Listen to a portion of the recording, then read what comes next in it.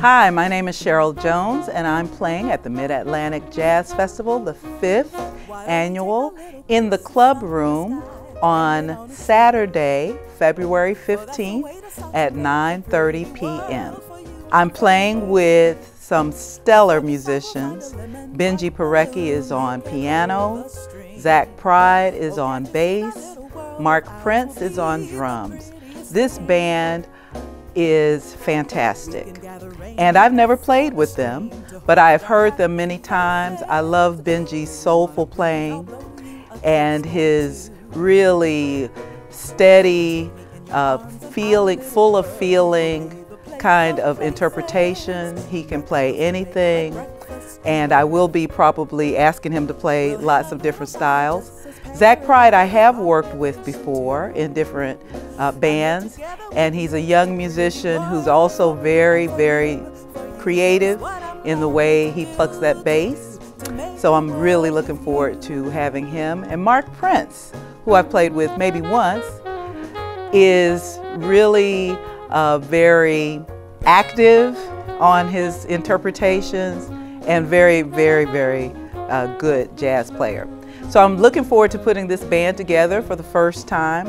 I'll be looking at the Great American Songbook and doing those jazz standards that I love, but we'll also be adding a twist. I'll be doing, for instance, Stevie Wonder's Overjoyed and maybe a Latin style. I may add in People Make the World Go Round um, in a jazzy style. And I'll also be asking a very, very important person to me, Cheikh Diop, Master C, to join me on a song called Same Old Story, which talks about and looks at the state of the world and how things change, but things stay the same. So I want you to come out and listen and enjoy and feel the music and the soul of jazz.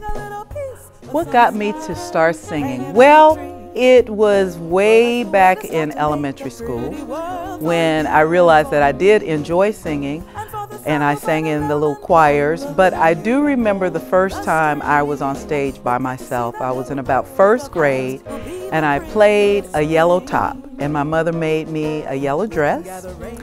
And I remember the song talking about spinning until I dropped. And I spun until I dropped. And I just remember feeling so good so alive.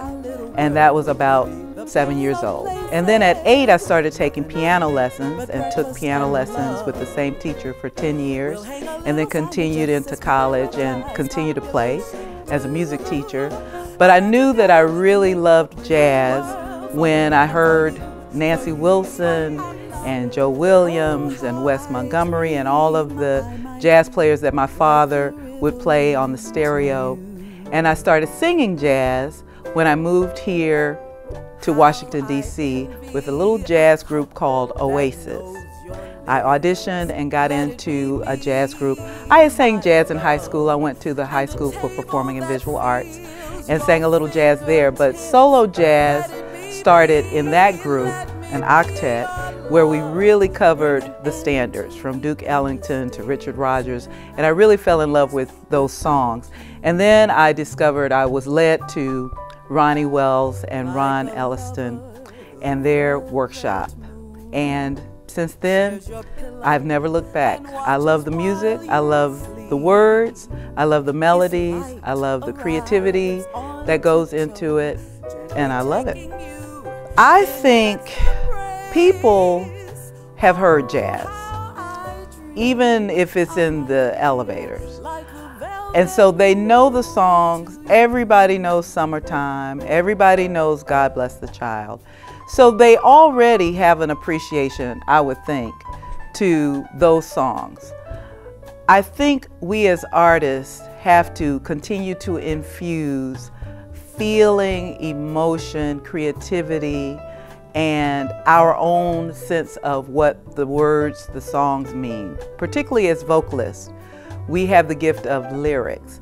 So we really have to feel them ourselves and then share that feeling with our audience so that they are moved and they are healed with these songs and that they feel good or they feel sad or they are have greater access to the things that they're going through.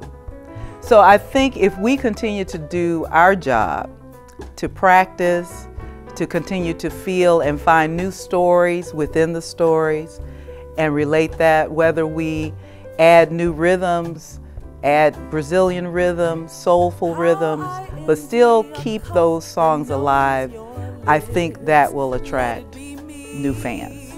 So please come and share with me the joy of jazz, the songs that you love, maybe some new songs with a band that's incredible, very energetic. We're going to rock and roll. We're going to sing the ballads and feel those deep, sorrowful kinds of feelings. We're going to be inspired to keep on keeping on. All together, 9.30 p.m. Saturday, February 15th, day after Valentine's Day. I'll be singing the songs of love, 9.30 in the club room at the Mid-Atlantic Jazz Festival. See you there. How I dream I might be like the velvet